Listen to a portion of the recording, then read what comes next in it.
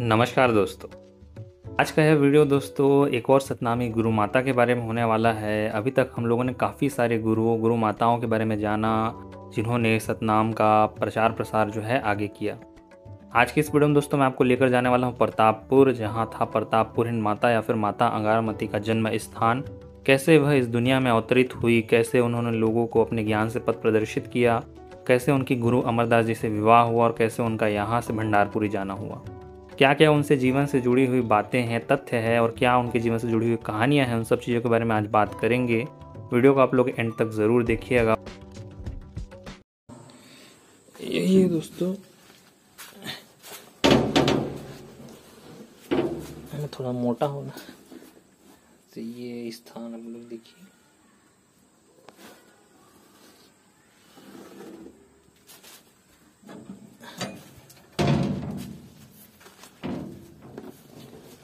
और ये और छिपा हुआ स्थान है जहाँ मैं आपको लेकर चलता हूँ। यही बाँस की भीड़ हिच माता जी यही प्रकट हुए है।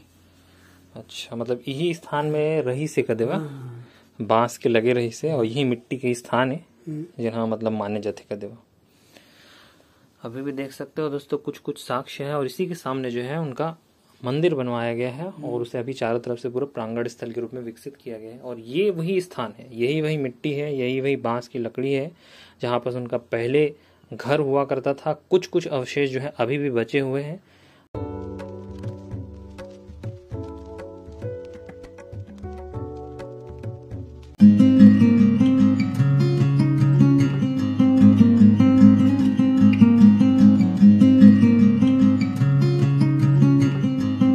जय जोहार दोस्तों, कैसे हो आप लोग? मैं हूँ किशन और आप देख रहे हो सीजी टूरिज़्म विद किशन। दोस्तों, आज मैं आपके लिए फिर एक नया वीडियो लेकर आ गया हूँ।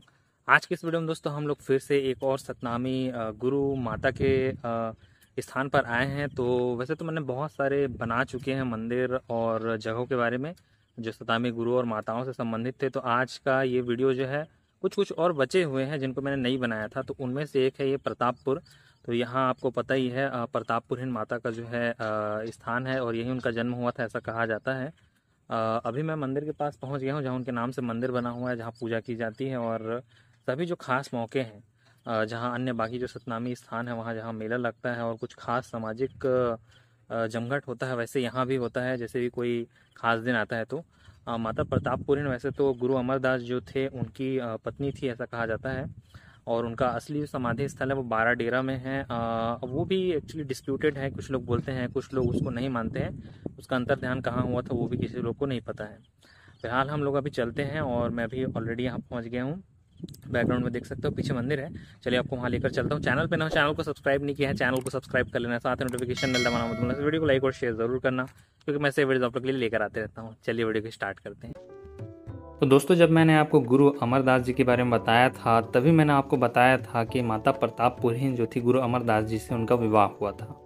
और बारह डेना में उनके नाम से एक और मंदिर बना हुआ है, जिससे संबंधित कहानी का वीडियो भी मैंने बनाया है। आज मैं आपको लेकर जाने वाला हूँ प्रतापपुर, जो कि कवर्धा ज़िले में है, जो कि कवर्धा से चौबीस, मुंगेली से बत्तीस और बिलासपुर से तिरासी किलोमीटर की दूरी पर स्थित है। तो दोस्तों, ये गाँव देख सकते हो, ये प्रतापपुर गाँव है ये आपका लोरमी ज़िले, लोरमी सॉरी लोरमी में नहीं, आपका कवर्धा ज़िले में आता है, कवर्धा ज़िले के पंडरिया क्षेत्र के अंतर्गत में। काफ़ी बड़ा यहाँ पास मैदान है, पानी टंकी है उसके जस्ट सामने में यहाँ पर सबको देखने को मिलेगा, माता अंगारमती का जो है जन्म स्थान। प्रतापपुर माता इसलिए कहा जाता है दोस्तों, क्योंकि गाँव में जिनका, जहाँ उनका जन्म हुआ था, उसे प्रतापपुर कहते हैं, और उनका असली नाम जो है माता अंगारमती था। गुरु अमरदास जी से जो है शादी हुई थी। देखते हैं अंदर में क्या क्या है और ख़ास मौक़ों पर यहाँ उनकी पूजा वगैरह भी की जाती है और काफ़ी सारे जो आयोजन हैं वो यहीं होते हैं और सामान्य दिनों में काफ़ी अच्छा माहौल यहाँ होता है। चलिए फ़िलहाल आपको अंदर लेकर चलते हैं और दिखाते हैं अंदर से यह जगह कैसा है। तो दोस्तों, जितने भी सतनामी गुरु हैं, गुरु माताएँ हैं, उनसे संबंधित कुछ न कुछ बातें जो है समाज में ज़रूर फैली हुई है। ऐसी ही गुरु माता अंगारमती या फिर प्रतापपुर माता के नाम से भी काफ़ी सारी चीज़ें जो हैं लोगों में फैली हुई हैं।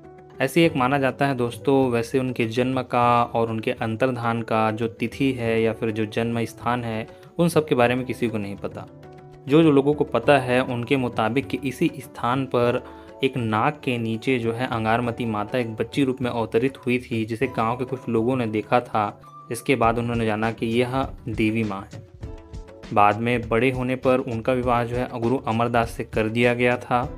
आज भी उनके स्थान, उनका साक्ष्य दोस्तों आपको इसी स्थान पर देखने को मिलेगा जहाँ पर उनकी पुराने समय में झोपड़ी हुआ करती थी।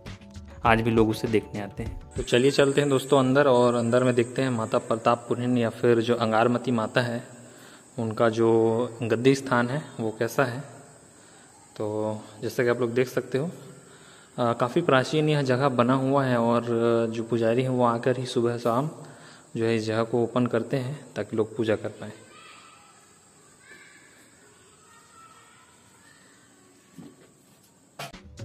वैसे तो दोस्तों गुरु अमरदास जी का जो समाधि स्थल है, वो चटवापुरी धाम में है और गुरु माता जो है, अंगारमती का समाधि स्थल कहीं भी नहीं है।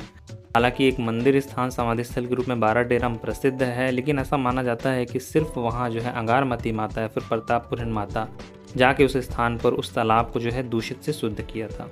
वहाँ उनकी कोई समाधि नहीं है, ना ही उनका अंतर्ध्यान कब हुआ, इसके बारे में कोई जानकारी मिलती है। तो दोस्तों, ऊपर से जो है ओपन है और इसी का कंस्ट्रक्शन अभी जो है चल रहा है।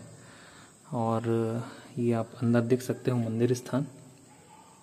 छोटा सा ही है जगह दोस्तों, पहले और भी छोटा हुआ करता था, बाद में पूरा जो मंदिर प्रांगण बनवाने के बाद जो है अब थोड़ा सा बड़ा मंदिर जैसा दिखना चालू हो गया और ये उनका गद्दी स्थान है। दोस्तों, ज़मीन जो पुजारी जी हैं, बाबा जी हैं, उन्होंने बताया कि यही ज़मीन है जहाँ माता प्रतापपुर या फिर अंगारमती जो माता है उनका जन्म हुआ था। यही वो ज़मीन स्थान है। आज भी दोस्तों उनका कुटिया जो था जो बाँस का बना था उसका जो अवशेष है वह इसी मंदिर के पीछे देखा जा सकता है।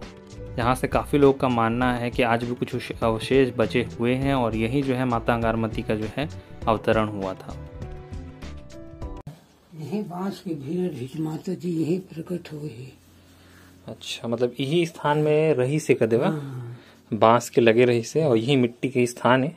जहाँ मतलब माने जाते कर देवा अभी भी देख सकते हो दोस्तों कुछ कुछ साक्ष्य है और इसी के सामने जो है उनका मंदिर बनवाया गया है हम्म। और उसे अभी चारों तरफ़ से पूरा प्रांगण स्थल के रूप में विकसित किया गया है और ये वही स्थान है यही वही मिट्टी है यही वही बाँस की लकड़ी है जहाँ पर उनका पहले घर हुआ करता था कुछ कुछ अवशेष जो है अभी भी बचे हुए हैं आने वाले समय में आपको और भी देखने को मिलेगा अगर आप कभी आते हैं प्रतापपुर तो इस स्थान पर ज़रूर आइएगा क्योंकि यही उनका जो है प्रारंभिक स्थान था। मोहनलाल यह के निवासी प्रतापपुर के? तो यहाँ जो माता अंगारमती है या प्रतापपुर माता है जल हमन कथन अमरदास के मतलब विवाह हुए उखर तो यहाँ उखर स्थान में का का हवे यहाँ बाँस के भीड़ हाँ। वही बाँस के भीड़ में नाम दे तो बोले छाया के बच्चा रूप में। अच्छा। ये बस्ती ले कोनो आए हैं बाहर भीतर हम्म। तो काकर लेकर चारा बांधा में रो थी हम्म। तो वहाँ ले दस बीस जन जुड़ के आए हैं तुम सोलह साल की उम्र में दर्शन दे माता अच्छा वो कई रूप ले लेती है सियान नांग दे तो हम चार दफे दर्शन दे माता जी नहीं दे हाँ। और न फिर ओकर मट कहूँ न कोकरो कोखरी जन्म ली अच्छा हाँ। हाथी शक्ति यही दलदली है नाला एक कुंड में कहा है ये कुंड ले दो तीन हाथ गड्ढा रही हाँ। और पाँच के मोटर के टूटा नालम पानी भगे कहाँ थी भागे पानी है? वो ऊपरे ले आवे नीचे नहीं चले हाँ। हाँ।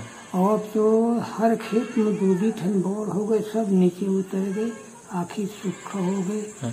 और ये दलदली नाला सब पटा गए हाँ। और कब्जा माता प्रतापपुर या फिर माता अंगारमती का नाम दोस्तों आज भी जो है स्वर्णिम अक्षरों में है। काफ़ी सारे लोगों को उनके बारे में पूर्ण रूप से जानकारी नहीं है।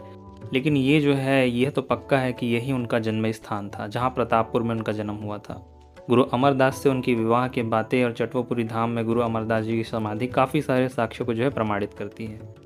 इनके अलावा दोस्तों, कुछ बहुत सारी कहानियाँ भी है जिनके अवतरण और अंतर्धान से संबंधित है, जिनको हम सिर्फ़ कहानियाँ ही मान के चलते हैं। अधिकांश जो जानकारियाँ हैं दोस्तों, वो धूमिल हो चुकी है क्योंकि उनका कोई लिखित प्रमाण नहीं है। लेकिन इन सब के बावजूद यह इस चीज़ को भी नहीं जुटलाया जा सकता कि प्रताप प्रतापपुरीन माता या फिर गुरु अंगारमती माता जो थी, वो इस दुनिया में नहीं थी। वो बिल्कुल थी, लेकिन उनसे जुड़ी हुई जो कहानियाँ हैं, उनको सच नहीं बताया जा सकता। फ़िलहाल दोस्तों, यह जगह बहुत ही खूबसूरत है, बहुत अच्छी जगह है। यहाँ सतनामी समाज का जमघट भी होता है समय समय पर। काफ़ी सारे लोग दूर दूर से यहाँ माता प्रतापपुर माता अंगारमती का दर्शन करने के लिए आते हैं और यहाँ उनसे संबंधित बहुत सारे रहस्यमय स्थान, उनका मंदिर, उनका जन्म स्थान उनका कुंड स्थित है।